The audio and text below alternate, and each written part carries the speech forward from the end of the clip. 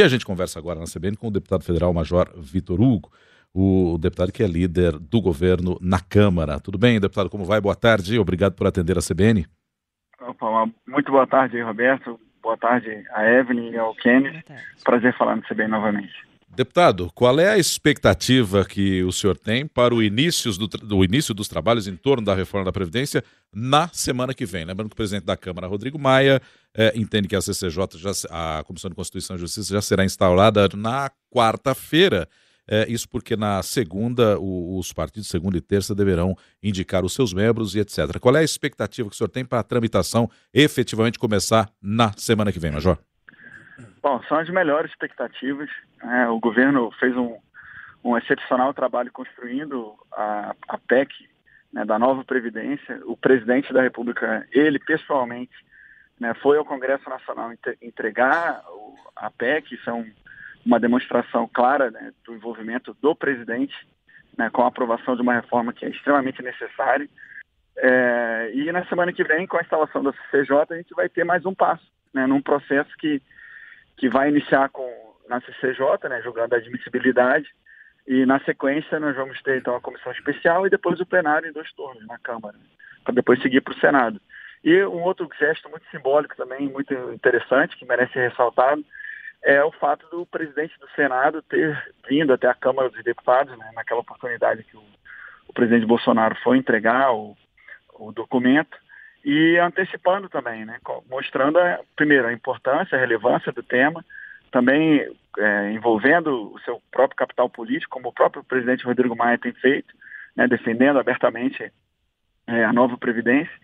E, então, a, as expectativas são as melhores.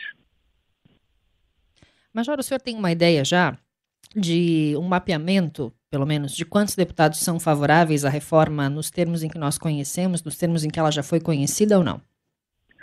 Ah, então, eu vi a manifestação do ministro Paulo Guedes hoje, né, uma manifestação bastante otimista e baseado em dados públicos, né, de, de manifestações de deputados em prol, em torno da reforma. Eu, eu é, corroboro assim essa, esse sentimento. É, eu, eu, tenho conversado com muitos líderes e com muitos deputados individualmente e tenho visto uma, uma grande adesão à tese da reforma em si. Eu sei que existem algumas ansiedades em torno do BPC, da idade mínima e da aposentadoria rural. É, o próprio presidente já sinalizou como é, abertura para o diálogo, né, assim que começarem então as discussões. E, e o, o, mais importante para nós é que haja uma economia, como já foi dito também por vários né, interlocutores, né, na casa de um trilhão em 10 anos. É, a reforma, da maneira como foi apresentada, é, pretende economizar mais do que isso, né, 165, algo próximo disso. Mas desde que a gente tenha uma, uma economia para o país, né, com a aprovação da, da nova Previdência nesses, nessa ordem de grandeza, a gente vai conseguir fazer com que o país retome o crescimento, né, que os juros baixem, que, que é, o, o, dólar caia. Então, é, vai conseguir fazer com que a economia é, avance mais e que abra espaço para novas reformas também, como a reforma tributária, que é muito importante, as privatizações e também a, a toda a agenda de costumes que foi tratada durante é, a campanha, né, que fazem parte também da, da promessa de campanha, outros compromissos de campanha do presidente. Sim, e mas também você tem um número de quantos deputados são favoráveis hoje? Ah, eu, eu, o ministro Paulo Guedes hoje falou que faltariam é, 48 deputados, né?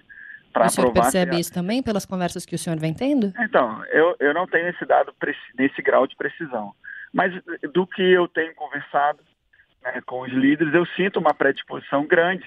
Né? Eu não vi nenhum líder é, fora os da oposição, mas na minha visão, com, alguns com argumentos pontuais sobre questões específicas, mas não vi nenhum líder ainda manifestar claramente contrário à reforma. É, inclusive, mesmo dos governadores é, de partidos é, que se manifestaram de oposição, eu sinto até um, uma, uma oposição tímida, porque sabem que as contas dos seus estados também dependem é, da aprovação da reforma da Previdência.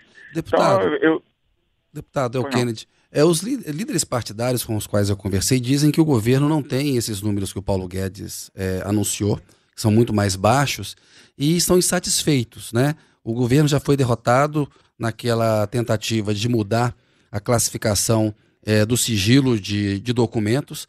Há uma insatisfação, há uma previsão de instalação da comissão na, na, na próxima quarta-feira, mas só sabe que para isso os líderes partidários precisam fazer as indicações. Né?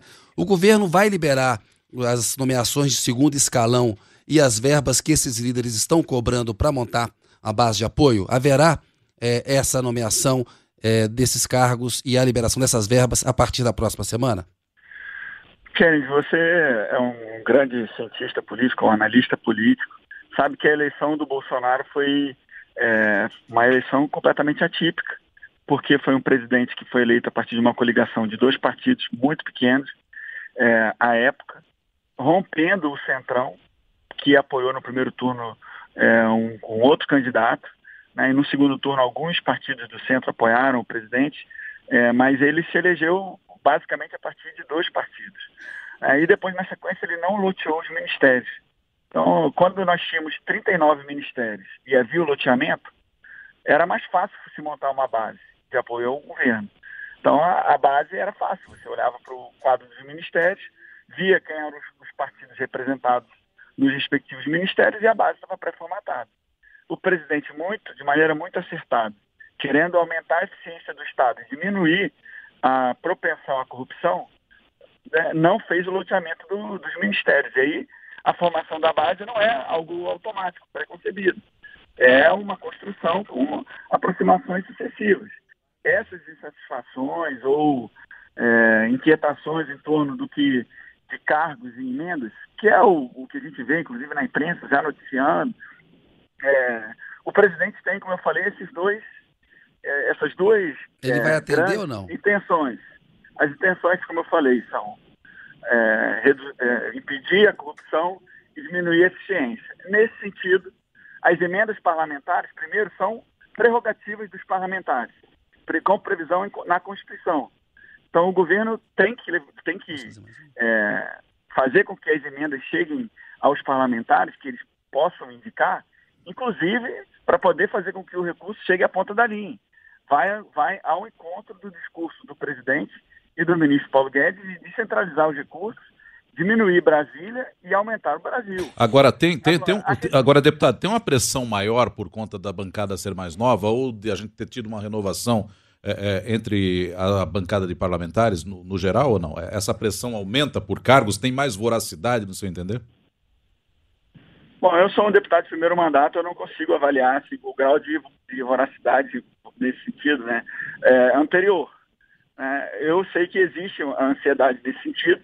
O presidente tem é, determinou para que a CGU fizesse um decreto que é, estipulasse os critérios para atendimento, né? inclusive determinou também que se é, evitasse a questão do nepotismo, né? que se que os cargos fossem ocupados por pessoas que tivesse compatibilidade técnica entre o cargo pretendido e a pessoa indicada, e também que, lógico, tivesse uma, uma verificação da vida pregressa do indicado para não, não incorrer em, em alguém que fosse réu, que fosse delatado, denunciado né, ou condenado criminalmente. Então, assim, atendidos esses critérios e retirados os cargos que os ministros vão preservar para garantir é, que a, a cadeia hierárquica e a eficiência do Estado aconteça, a indicação política por si só, atendidos esses critérios, é, ela não, não pode ser considerada algo nefasto. É só a gente ver, por exemplo, o próprio Paulo Guedes dá isso como, dá isso como né, um, um, exemplo. O Rogério Marinho, que fez excelente trabalho na construção da PEC, é, da, reforma, da nova Previdência, foi indicado, apresentado para ele por, por parlamentares. Uhum. Então, não. Queria falar um pouquinho agora do. Eu acho que o senhor deixou claro o ponto do senhor sobre essa questão da negociação política, da proposta em si. É, o e alguns analistas eles dizem que as mulheres serão prejudicadas é, porque, com o aumento do tempo mínimo de contribuição de 15 para 20 anos, ficará mais difícil para as mulheres, especialmente as mulheres é, mais pobres, comprovarem esse tempo de contribuição. Há disposição do governo de negociar a redução do tempo mínimo de contribuição de 20 anos e mantê-lo é, em 15 anos como é hoje? A, a disposição do governo de negociar é, qualquer ponto da reforma. tudo, tudo vai ser conversado. Eu, por exemplo, já recebi mais de 20 entidades representativas de segmentos diversos, tanto do serviço público quanto da iniciativa privada. E o governo vai estar aberto, claro, a conversar com todos os setores é, da sociedade brasileira, segmentos, estão sendo afetados com a reforma. A opinião é, é do senhor sobre esse ponto, de reduzir de 20 para 15, o senhor acha factível? Não, eu não queria opinar sobre, sobre questões específicas do texto, para não passar a impressão que o governo já, já cedeu a algum ponto. O que eu quero dizer é que o governo tem, é, está aberto, eu, como eu falei, eu na liderança do governo tenho recebido muitos, é, muitas entidades para conversar e estou aberto para receber ainda mais. É, é eu, é, é notória assim, a ansiedade em torno do BPC, como eu falei, da idade mínima e da aposentadoria rural, mas tem muitos outros aspectos da, da, da PEC, da nova Previdência, que merecem discussão e que, na, no ponto de vista do governo, são, são muito bons, como, por exemplo, a questão da possibilidade de criação de, de uma contribuição extraordinária, a aproximação ainda maior do regime geral de previdência com o regime próprio de previdência social, a, o combate às fraudes, né, o, o, a possibilidade de cobrança, aumentar a capacidade do Estado de cobrar dos grandes devedores, a organização do, do orçamento da Seguridade Social, por exemplo, fazendo a proteção das fontes de custeio, dividindo claramente o que é assistência social do que é previdência social. É, então tem assim, tem uma, uma série de aspectos é, muito interessantes. Ou, por exemplo, outro, a instituição né, de, um, de um sistema, de um regime de capitalização futuro e obrigatório, que vai criar uma conta individual né, para cada segurado ou para cada filiado ao, ao, um regime ou outro. Todas essas são questões importantíssimas, né, que vão ser discutidas aí a partir da tanto na admissibilidade, mas particularmente quando a gente for conversar sobre o mérito, né, na, tanto na comissão especial quanto no plenário, e que eu tenho certeza a interação né, da iniciativa do executivo a partir da apresentação okay. da PEC, mas com a, a, a digital do parlamento, que congrega parlamentares de, de variados estados, com variadas formações, inclusive crenças religiosas, culturais, a gente não tem dúvida que o parlamento tem uma capacidade muito grande de aperfeiçoar o texto. Ok. E a proposta vai. vai só terminar assim, desculpa. A proposta, nós temos certeza que vai sair ainda melhor do que foi apresentado pelo governo. Deputado Major Vitor Hugo, muito obrigado, viu, por atender a CBN. Uma boa tarde ao senhor.